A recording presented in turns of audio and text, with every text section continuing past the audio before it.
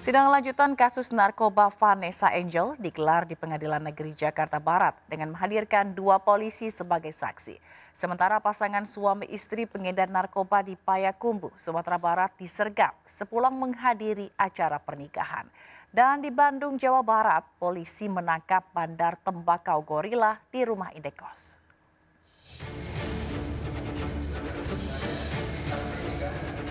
Meski di tengah pandemi COVID-19, Vanessa Angel tetap mengikuti sidang lanjutan atas kasus narkoba yang menjeratnya di Pengadilan Negeri Jakarta Barat.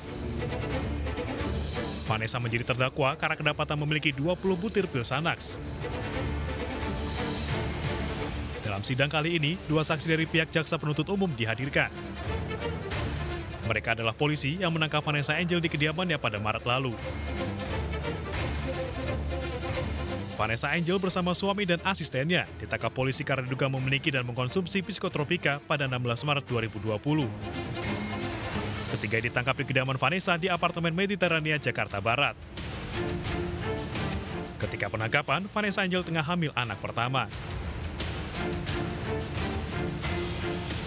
Pada awal bulan Agustus lalu, Vanessa Angel dijadikan tahanan kota usai berkasnya dilimpahkan ke Jaksaan Negeri Jakarta Barat. Saat itu, polisi menetapkan Vanessa Angel sebagai tersangka kasus kotropika dengan ancaman 6 tahun penjara. Tim Liputan iNews melaporkan.